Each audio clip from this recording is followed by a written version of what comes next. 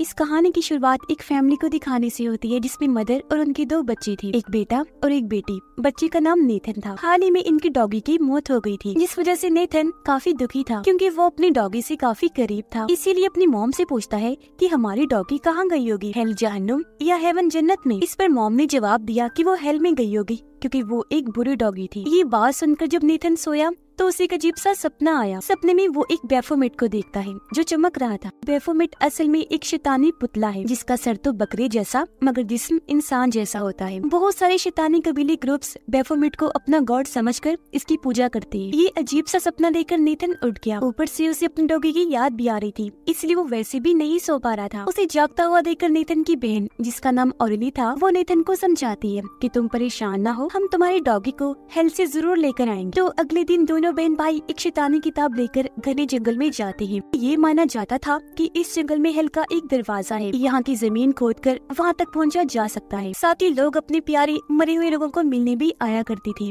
यहाँ औरली और नेथन लोगों की कई सारी चीज़ों को देखते हैं, जो दरअसल उन लोगों की कुर्बानियाँ थी। यानी लोग अपने प्यारों को मिलने के लिए अपनी कीमती चीज़ कुर्बान कर दिया करती थी। इसलिए नेथन यहाँ अपनी डॉगी के गले का पट्टा कुर्बानी के तौर पर रख देता है। नेथन टॉयलेट करने साइड में गया, जहाँ पेड़ के टहने पर लिखा हुआ था कि एक बार जो इस जंगल में आता है, वो यहाँ से बचकर वापस नहीं जाता, क्योंकि ये एक कर्स्ट जंगल है। ये देखकर नितिन को अजीब लगा, इसलिए वो भागकर वापस और इन्हीं के पास आ गया। और ये दोनों आगे बढ़ जाती है। उस जगह पर जाने लगी, जहाँ इन्हें हेल के दरवाजे के लिए गड्ढा खोदना था। और इस जगह का नाम एंट्रम होता है। ये जब उस जगह पर पहुँचे तो सारे रिलीजन मजहबों से जुड़ी चीज़ें और उनके गॉड्स बाहर निकाल देते हैं। जैसे हिंदू, मुस्लिम जियोस यहूदी, बुद्धिज्म और क्रिश्चियन से जुड़ी चीज़ें। फिर रस्सी से एक स्टार बनाते हैं, जिसे जादू करने के लिए आमतौर पर बनाया जाता है। और ये सब चीज़ें स्टार के पाँचों कोनों में रख देती है। फिर उनसे दुआ करने लगी, ताकि गॉड इन्हें डीमंस शैतानों से बचा के रखे, जिसके बाद वो अपने काम पर लग गई। गड्ढा खोदना शुरू कर देते हैं अब हेल्थ तक पहुँचने के लिए इन्हें पाँच लेवल तक जाना था, जिसके पहले लेवल का मतलब था बगैर किसी कानून के। थोड़ा सा गड्ढा खोदने के बाद नेतन वहाँ क्रॉस बनाकर कान लगाकर सुनने लगता है। और उससे पूछती है की तुम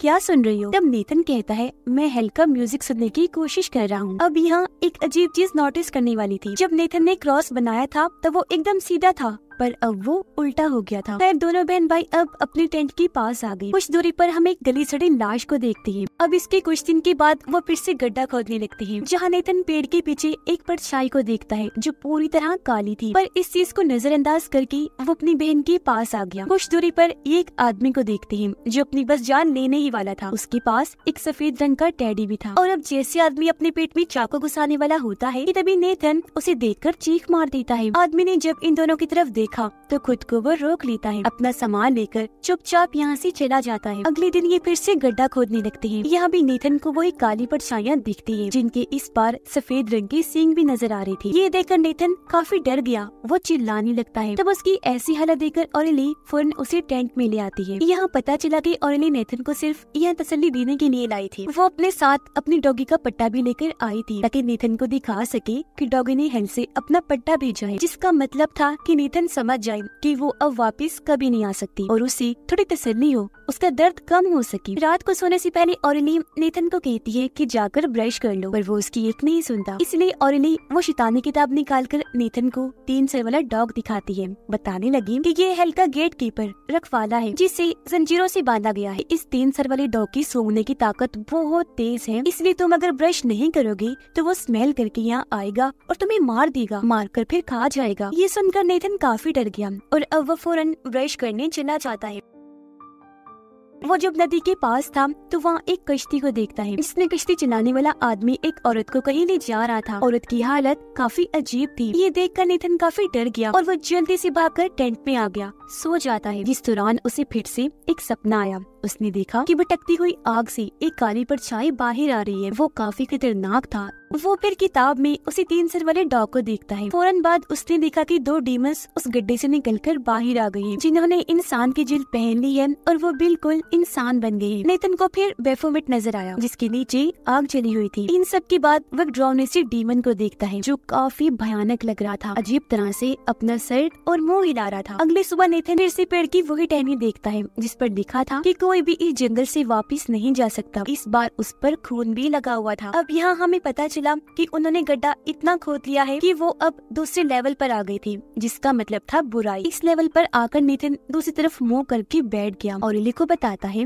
कि हम दूसरी लेवल पर पहुँच गए हैं, क्योंकि डीमस ने मुझे नोचा है ये कहकर वो अपनी बाजू पर लगे खरोचों के निशान भी दिखाता है। पर क्योंकि औरली को डीमस पर यकीन नहीं था, इसलिए वो ये समझते है कि ज़रूर नेथन ने खुद ये निशान बनाए होंगे। तो वो उसकी बाजू पर अपने साथ लाया गया। होली वाटर डाल देती है। फिर उसका जहन बहलाने के लिए उसे जंगल में ले गई। घुमाने के लिए जहाँ नेथन पानी में अजीब से किसी हरकत को देखता है, काफ़ी देर तक बस वहीं घूरता रहता है। इस चीज़ का फ़ायदा उठाकर ऑरली डॉगी के पट्टे को वही साइड में रख देती है, ताकि वो नेथन को यकीन दिला सके कि हमारे डॉगी ने पट्टा वापस ले जाए और वो खुद वापस नहीं आ सकती। अब अचानक ही उन्हें हल्की म्यूज़िक की आवाज़ सुनाई देने लगती है। वो अब तीसरी लेवल पर पहुँच गई है। हल्की म्यूज़िक की आवाज़ सुनकर दोनों बहन भाई यहाँ से भाग गए और एक खाली पड़े गाँव में आ जाते हैं। यहाँ वो दो लोगों और बेफोमेट को देखते है। अब ये लोग दरअसल वही डीमस थे जो नेथन ने अपने सपने में देखे थे। जब वो गड्डी से निकलकर बाहर आई थी और उन्होंने इंसानी जिल्द पहन ली थी और इन्हें नीचे पड़े सफ़ेद टेडी को देखती है और बेफोमेट अजीब तरह से हिल रहा था और अब ये डीमस उसके नीचे आग लगा देती है। ये देखकर ऑरली समझ जाती है कि जिस आदमी को हमने देखा था, जो अपनी जान लेने लगा था, ये सफ़ेद टेडी उसी का है। इन दोनों डीमस ने इस आदमी को बेफोमेट के अंदर डाला हुआ है। नीचे आग इसलिए जलाई ताकि वो आदमी को पकाकर खा सके, क्योंकि ये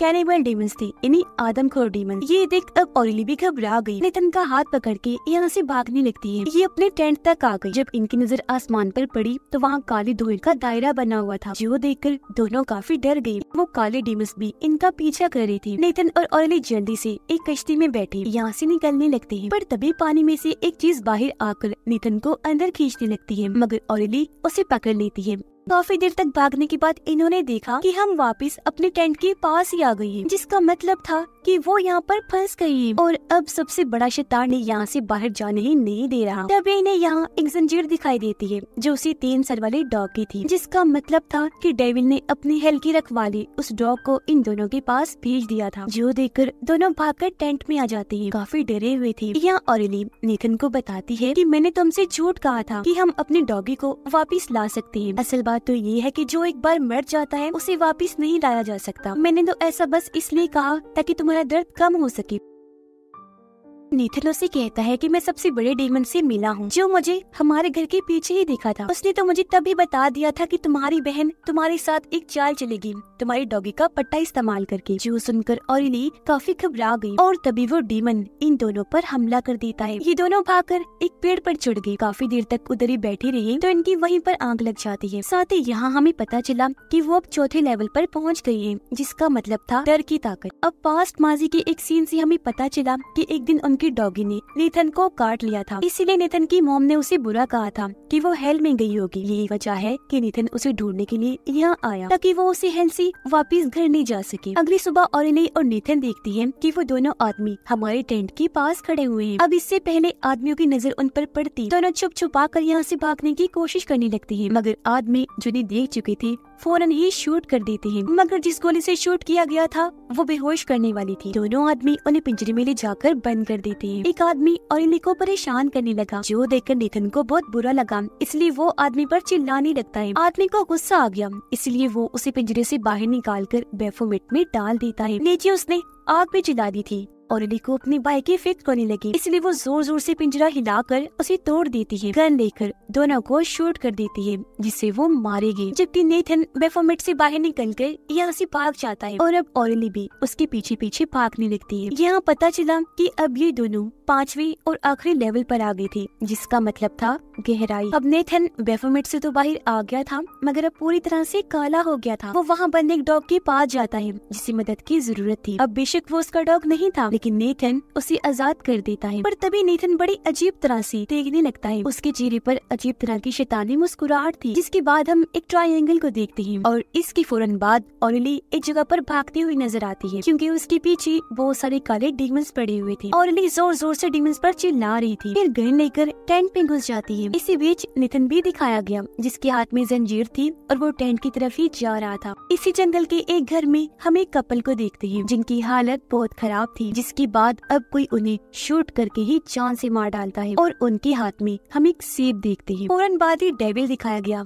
जो बहुत बदसूरत, खौफनाक था। पेड़ पर लिखी गई वो बात सच थी कि जो भी इस जंगल में आएगा, वो यहाँ से बचकर वापस नहीं जा सकता। अब नितिन तो डीमन बन गया था। जब भी वो काला होकर बाहर आया और उसके चेहरे पर अजीब तरह की शैतानी मुस्कुराहट थी, जबकि उसकी बहन औरनी को तो डेविल अब खुद ही मार देगा। अब हेल तक जाने के पाँच लेवल इसलिए बनाए गए थे कि तुम जितने गहराई में जाते रहोगे, मौत उतनी ही तुम्हारे पास आती रहेगी। ट्रॉय एंगल का मतलब इस फ़िल्म में ये था कि डेविल ने उन्हें अब इस तरह ट्रॉय एंगल में फंसा लिया था कि वो यहाँ से बचकर नहीं निकल सकते। जिसे दोनों बहन भाई ने हालाँकि भागने की कोशिश की थी, पर वो इस तरह ट्रायंगल में फंस गई थी कि आखिर मारे ही गई क्योंकि एंगल की हर कोने पर मौत ही थी, जो खुद वो डेविन था। और इस फ़िल्म की कहानी भी यहीं पर खत्म हो जाती है।